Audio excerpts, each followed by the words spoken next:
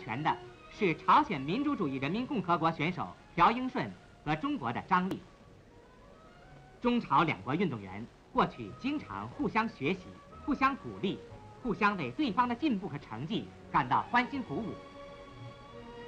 这两名左手握拍选手一开始就展开对攻。